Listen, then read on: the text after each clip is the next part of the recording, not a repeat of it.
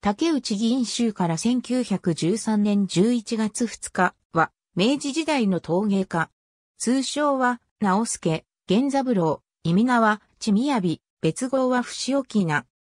青年期は武芸に励み、加賀大正寺藩、石川県に出資した後、九谷焼作島に転じ、一新社主、九谷陶器会社支配人、N 間郡九谷陶器同盟組合頭取、石川県工業学校当時科教諭を歴任した。弟浅井一号も陶芸家。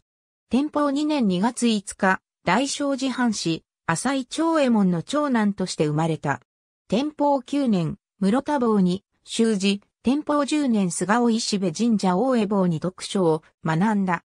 高下2年、堀文金、小島春明に、絵画、高下3年、山田重介に、正幸新東流柔術、七尾敦中に、自家新影流剣術を学び、死の没後、田中立常に改伝を受けた。高下4年飯田や八郎右衛門に東画を学び興味を持ったが、武術に専念するため10日余りで断念し、嘉永5年、樋口彦蔵に、サブリ流奏術を学んだ。万延元年3月から慶応3年1月まで、軍中伝役を務め、慶応4年1月大砲方となり、7月京都、毛上げの藩警護所に詰め、止め不可人を兼務した。11月養父が病没したため、明治2年に1月跡目を継ぎ、都並15票となった。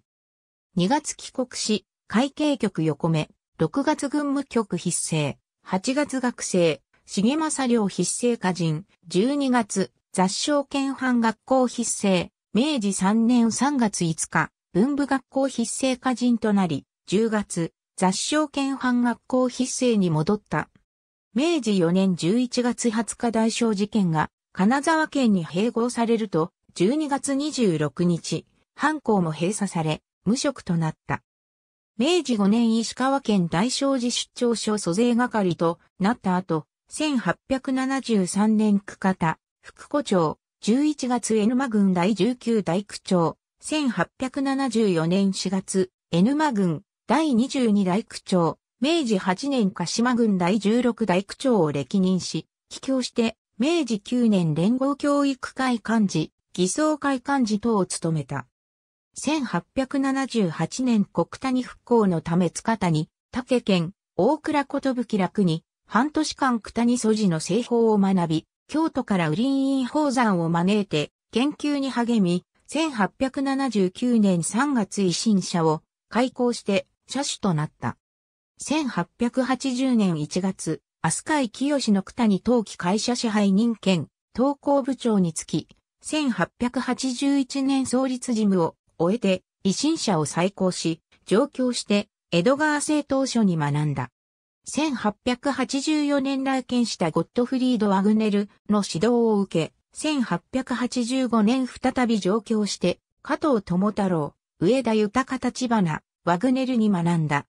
1886年、前田正名により52回石川県、N マ支部監督に指名され、1888年2月、N マ郡九谷陶器学校組合頭取、3月陶器、研究会会長、1889年4月、N マ郡九谷陶器同盟組合頭取を歴任した。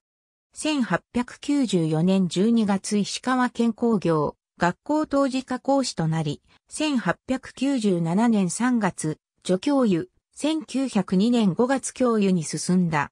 1907年5月辞職し、奥高城町に工房を設けて陶芸に専念し、1913年11月2日、病没した。